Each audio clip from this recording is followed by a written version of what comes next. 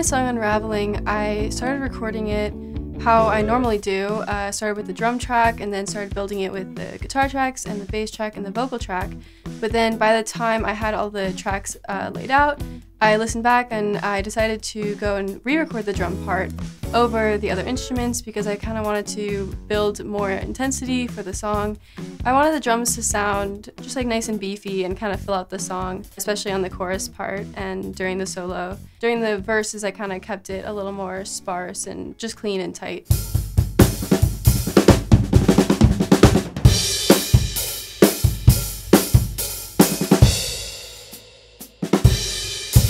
So I decided to feature the bass a bit on this song, and during the verse, you can kind of hear the Sting police sort of influence uh, with like this syncopated type of bass line.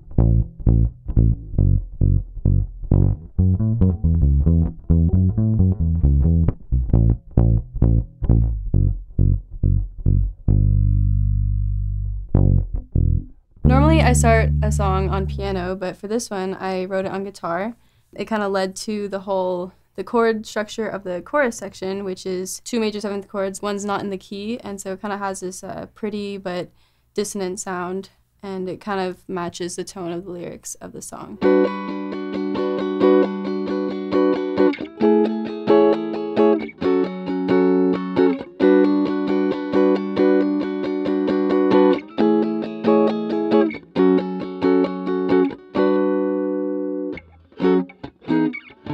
Wrote the chorus of this song first, and it's about uh, pretending that something is working even though uh, you know it isn't. And that's how the whole song came together lyrically.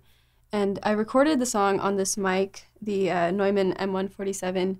It's my go to mic. It sounds great with my voice and kind of it picks up a lot of the high end that uh, some other mics don't capture. The seams we watch unraveling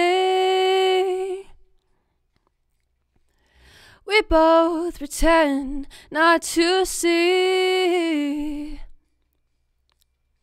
And this seems to be unraveling. But we both pretend not to see how the stitches come out.